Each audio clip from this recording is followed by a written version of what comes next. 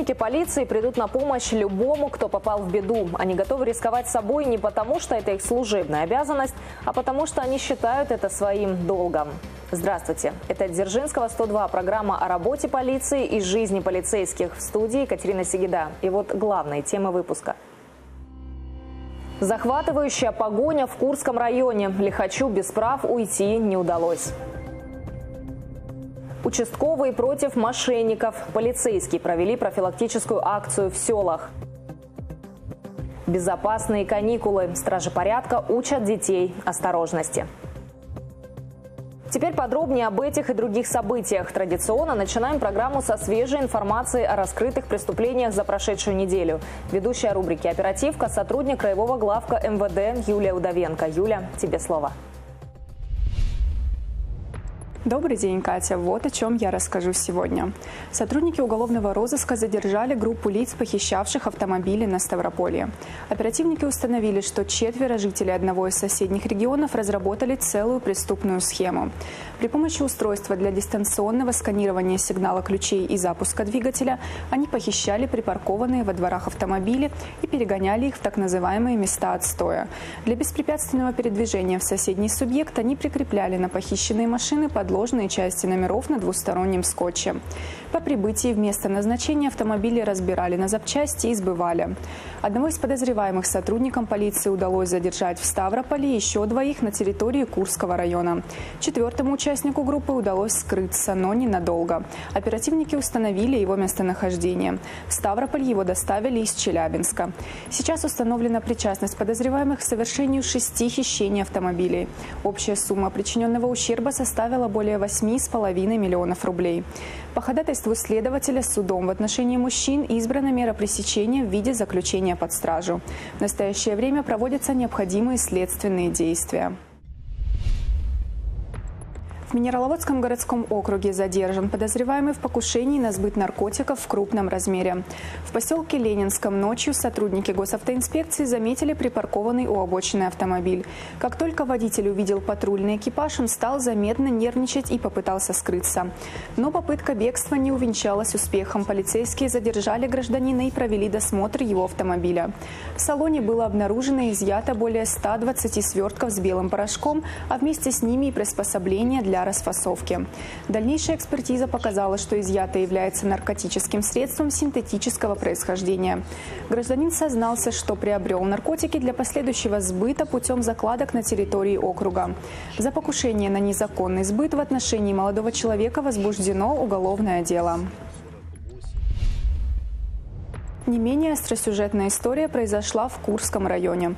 На маршруте патрулирования сотрудники ДПС остановили иномарку, водитель которой не смог предъявить необходимые документы. За нарушение автоинспекторы составили административный протокол. Однако, невзирая на это, мужчина сел в машину, заблокированную служебным транспортом, завел ее и, переехав через бордюр, скрылся от сотрудников полиции. Автоинспекторы организовали преследование нарушителя, который создавал угрозу жизни и здоровью участников дорожного движения. Полицейские неоднократно предупреждали мужчину о применении табельного оружия. Но, несмотря на выстрелы по колесам, правонарушителю все же удалось скрыться. Правда, через несколько часов сотрудники госавтоинспекции задержали его и доставили в отдел полиции. По зафиксированным нарушениям ПДД в отношении гражданина составлено несколько административных материалов. За неповиновение законным требованиям сотрудника полиции судом ему назначено 10 суток административного ареста, а за другие нарушения мужчина заплатит штраф. Совсем скоро будем подводить итоги конкурса «Народный участковый». Остались считанные часы до его завершения. Если вы еще не сделали свой выбор, заходите на сайт Краевого главка и голосуйте. Тем временем участие в конкурсе не мешает победителям первого тура выполнять свою основную работу – так, накануне в связи с увеличением обманутых телефонами мошенниками людей они провели профилактическую акцию. Подробности рейда в следующем материале.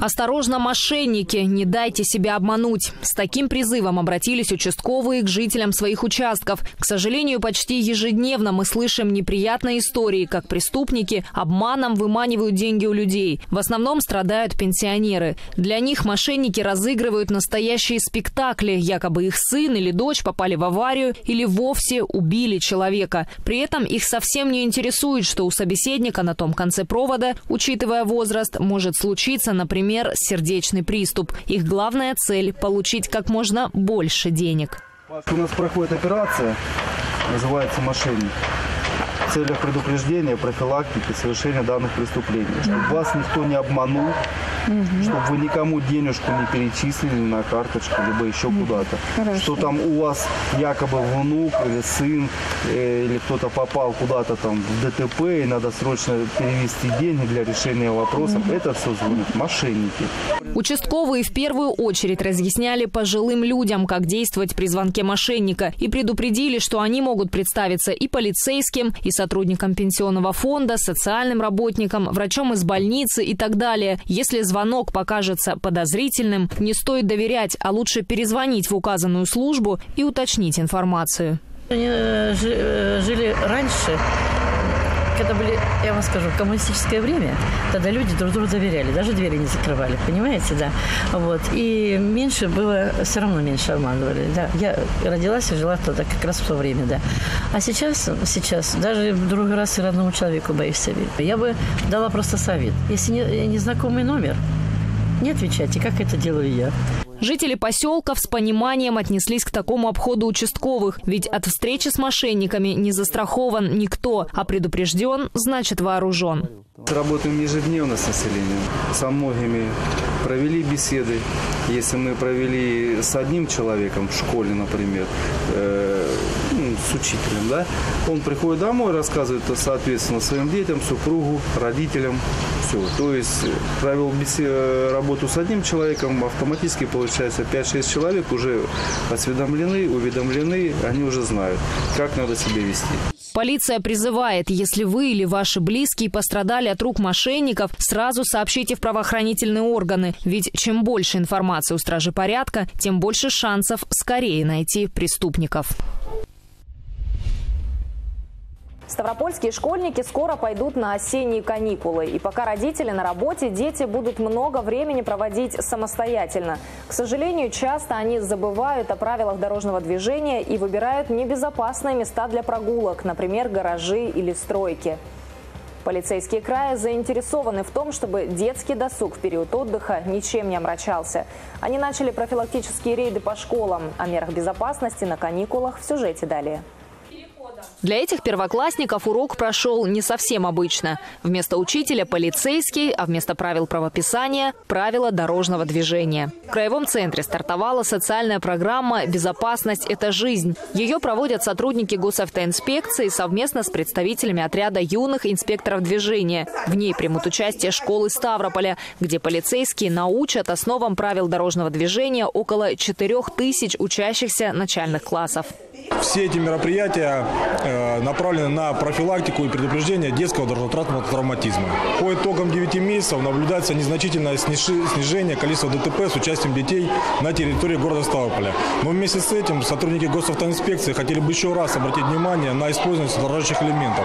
Ведь это уже доказано, что спасает жизни. Не значит, что если у вас вот такой световозвращающий элемент, можно переходить дорогу, но не глядя. Нет, нужно все равно, ребята, думать о безопасности, не забывать, смотреть, чтобы водители вас пропускали. Дети активно участвовали в беседе с гостями и задавали вопросы. И хотя все, что им рассказывали, они уже слышали от родителей и учителей, лекция от человека в погонах наверняка запомнится надолго. Ты будешь соблюдать правила дорожного движения? Да. Зачем это тебе нужно? Что, чтобы не попасть под аварию и не лежать в больнице. А мы теперь больше узнали и будем сильнее наблюдать за дорогой. Школьникам постарше объясняли правила в форме игры. цель такая – повторить и укрепить знания правил дорожного движения с применением своих знаний. Лучше ошибиться во время игры и исправить, запомнить правила, чем э, на улицах нашего города. Ребята, которые прошли этот курс обучения, э, они вокруг себя создают э, ситуацию безопасности. Они выполняют правила сами и э, призывают к себе, чтобы рядом идущий участник дорожного движения тоже выполнял правила дорожного движения. Большой опыт проведения уроков безопасности в таком формате показал, что дети усваивают информацию намного быстрее и лучше. После детей ждал просмотр интерактивного фильма, герои которого по-разному вели себя на дороге, а школьники определяли, насколько их действия верны. Дети в восторге, потому что я присутствовала на мероприятиях, и я видела их лица, как они радовались, особенно тому, какие мероприятия, конкурсы, потому что необычные викторины проходили. Стражи порядка учили не только правилам дорожного движения. По статистике, количество преступлений с участием несовершеннолетних и против них увеличивается. В связи с этим школьникам рассказали о возможных опасностях, которые могут их подстерегать в отсутствии родителей, о способах защиты и правилах поведения с незнакомцами. Нельзя красть там, с кем-то ходить в машину, с кем-то гулять незнакомым. Полицейский очень много рассказал. Мама так бы никогда не смогла рассказать. Полиция призывает и родителей к бдительности по отношению к детям. И неважно, свой это ребенок или чужой, если вы видите, что грозит опасность, не оставайтесь равнодушными и позвоните 02. Сразу несколько подразделений полиции отметили на прошлой неделе столетний юбилей. Так, в Краевом главке МВД торжественно поздравляли сотрудников уголовного розыска, штаба и кадров. Прозвучало много добрых пожеланий от начальства и почетных гостей. Представители руководства вручили особо отличившимся по службе благодарственные письма и почетные грамоты. В завершении культурный центр Краевого главка подарил юбилярам несколько музыкальных композиций. Время отвечать на вопросы телезрителей. В нашей постоянной рубрике «Территория права» полицейские юрисконсульты разъясняют нюансы законодательства. Напомню, если вы столкнулись с какой-то проблемой и не знаете, что делать, то отправляйте свои вопросы на электронный адрес. Можно и в видеоформате. Ответы увидите в наших следующих выпусках, а также на официальном сайте МВД края и на страницах аккаунтах МВД в социальных сетях. На почту уже поступило несколько вопросов, и сейчас ответим на один из них.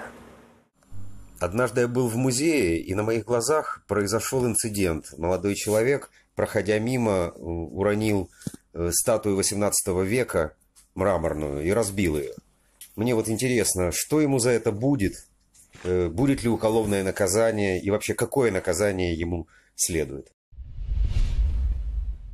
В соответствии со статьей Федерального закона о музейном фонде Российской Федерации и музеях в Российской Федерации, рассматриваемая статуя XVIII века может быть признана культурной ценностью и музейным предметом.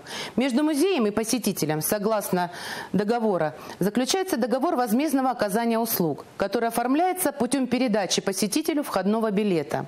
Правила посещения музея доводятся до сведения посетителей путем их размещения в кассах либо на официальном сайте музея и являются договором публичной оферты. К общим правилам поведения посетителей музея, которые связаны с сохранностью экспонатов, можно отнести запрет посетителям заходить за ограждение и на площадке размещения экспонатов, трогать экспонаты руками, прислоняться к ним, совершать иные действия, которые могут повредить экспонаты и оборудование композиции.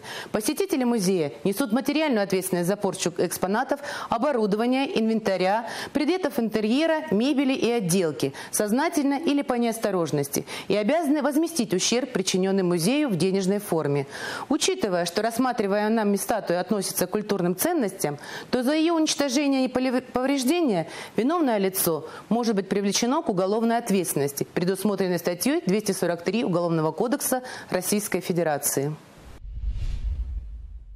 На сегодня это все. Если вам понадобится помощь полицейских, звоните по номеру 02 с городского телефона, 102 с мобильного и 112 вызов всех экстренных служб. Новые факты из жизни полиции ровно через неделю. В студии была Екатерина Сигида. Всего доброго.